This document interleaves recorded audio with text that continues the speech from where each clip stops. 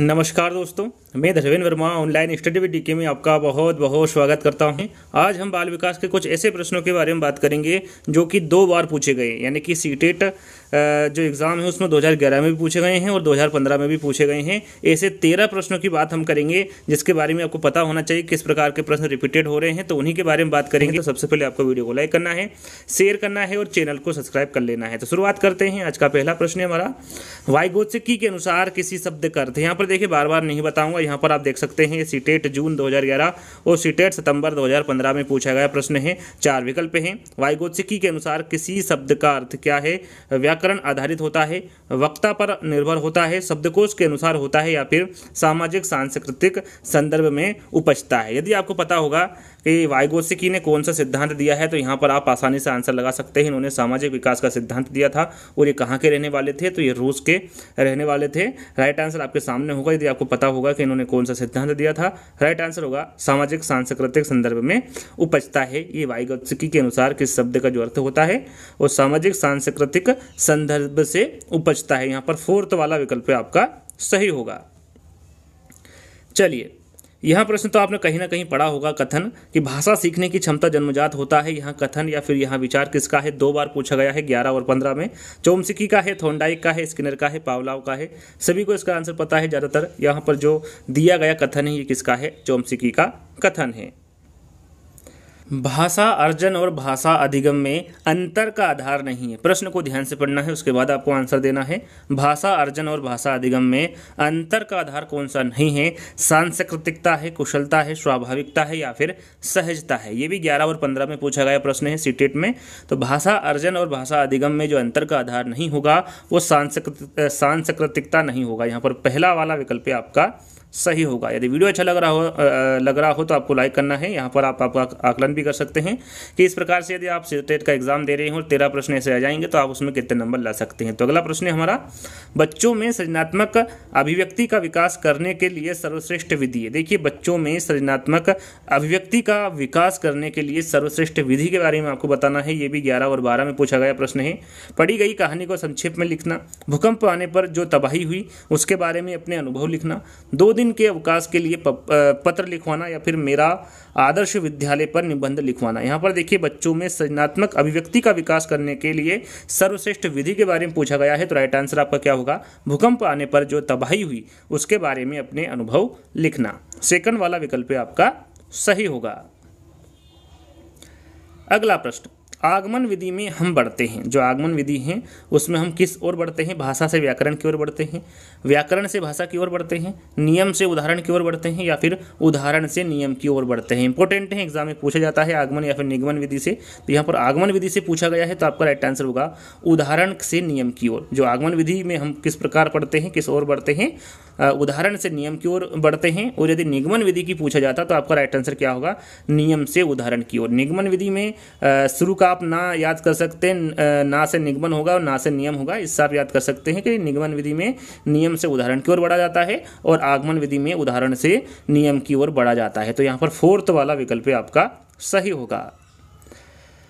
व्याकरण शिक्षण के संदर्भ में कौन सा कथन सही? यहाँ पर देखिए, चार विकल्प दिए गए हैं, जिसमें आपको व्याकरण शिक्षण के संदर्भ में सही कथन बताना है। ग्यारह और बारह में पूछा गया प्रश्न है। व्याकरण शिक्षण के लिए समय सारणी में अलग से काव्यांशों की व्यवस्था होनी चाहिए। भाषा प्रयोग की अपेक्षा भाषा नियमों को ही महत्व देना चाहिए। बच्चे परिवेश में उपलब्ध भाषिक प्रयोगों के आधार पर स्वयं भाषा के नियम बनाने की क्षमता रखते हैं या फिर व्याकरण शिक्षण अत्यंत आवश्यक है। व्याकरण शिक्षण के संदर्भ में कौन सा कथन सही है, आपको आपको बताना है।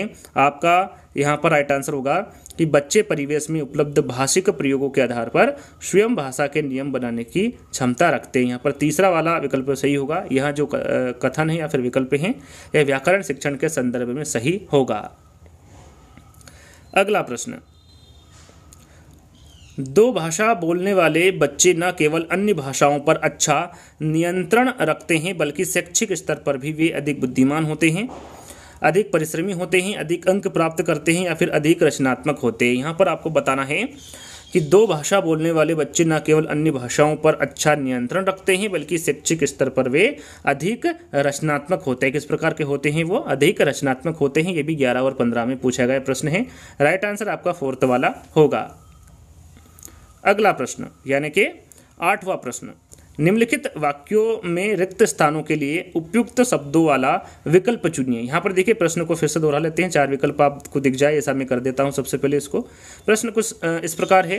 निम्नलिखित वाक्यों में रिक्त स्थानों के लिए उपरोक्त शब्द वाले विकल्प विकल्प को चुनिए, जहाँ पर जो रिक्तस्थान दिए हुए हैं, यहाँ पर क्या आएगा? ये पूछा गया है कि रिक्तस्थान में बोले जाने वाली रिक्तस्थान के बीच और पड़ोसी की भाषाओं तथा रिक्तस्थान में प्रयुक्त की जाने वाली भाषा के बीच के फासले को काटने का भरपूर प्रयास किया जाना चाहिए। यहाँ पर देखिए रिक्तस्थान पर क्या आएगा? इन चारों विकल्पों के माध्यम से आपको बताना है।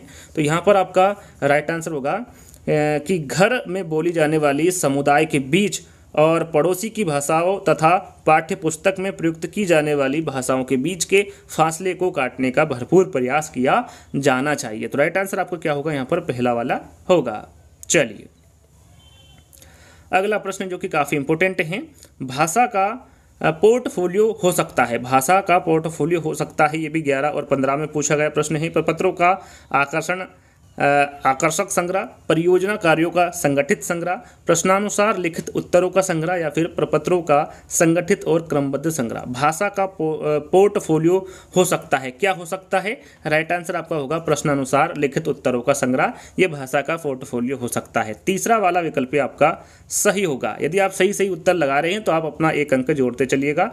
हम आगे बढ़ेंगे। अगला प्रश्न है हमारा कि आकलन एक सतत प्रक्रिया है, इसका प्राथमिक उद्देश्य यहाँ पर आपको इसका प्राथमिक उद्देश्य बताना है क्या होगा। प्रविधि प्रविधि पाठ्यपुस्तक शिक्षक और विद्यार्थी में सुधार का अवलोकन प्रविधि सामग्री शिक्षक और कक्षा कार्य निष्पादन में सुधार की प्रतिपुष्टि विषय वस्तु, शिक्षण, पाठ्य सामग्री और प्रशिक्षण में सुधार की प्रतिपुष्टि। और चौथा विकल्प है आपका विषय वस्तु, पाठ्यपुस्तक शिक्षक और कक्षा में सुधार का समर्थन। यहाँ पर आकलन एवं सतत प्रक्रिया है, इसका प्राथमिक उद्देश्य आपसे पूछा गया है।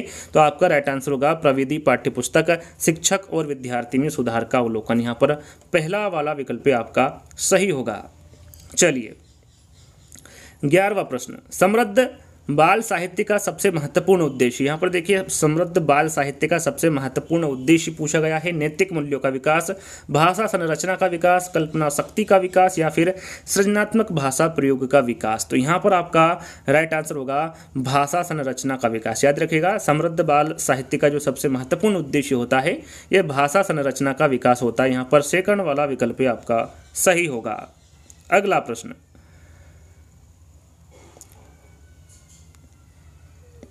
उच्च प्राथमिक स्तर पर हिंदी सीखने सिखाने की प्रक्रिया में किसकी महत्वपूर्ण भूमिका नहीं? यहाँ पर देखिए पूछा गया है कि उच्च प्राथमिक, देखिए यहाँ पर पूछा क्या गया है?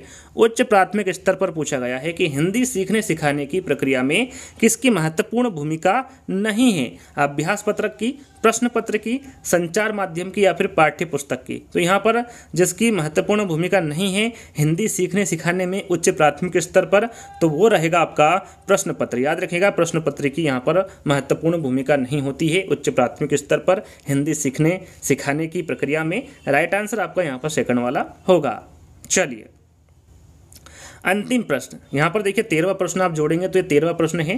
प्राथमिक स्तर पर आप किस तरह का बाल साहित्य उचित समझते हैं? यहाँ पर देखिए अभी तक आपने वीडियो को लाइक नहीं किया है तो लाइक करना है। जितने भी आपके पास ग्रुप है शेयर करना है और चैनल को सब्सक्राइब कर लेना है। ये तीनों कार्य आपने फटाफट कर लेना है। जितनी ज़्यादा इस पर रिस्पॉन्स मिलेगा अच्छा रिस्पॉन्स मिलेगा मिलेगा तो आगे मैं एक ऐसा वीडियो बनाऊँगा जो कि दो हज़ार ग्यारह से लगाकर दो हज़ार इक्कीस तक जितने भी रिपीटेड प्रश्न हैं जो बार बार प्रश्न पूछे गए हैं उनका एक वीडियो बनाऊँगा। यदि इस पर आपका अच्छा रिस्पॉन्स मिला तो, तो यहाँ पर प्राथमिक स्तर पर आप किस तरह का बाल साहित्य उचित समझते हैं? केवल कहानियाँ, ऐसा साहित्य जो प्रसिद्ध साहित्यकारों द्वारा लिखा गया हो, ऐसा साहित्य जिसमें शब्दों और घटनाओं का दोहराव हो या फिर केवल कविताएँ।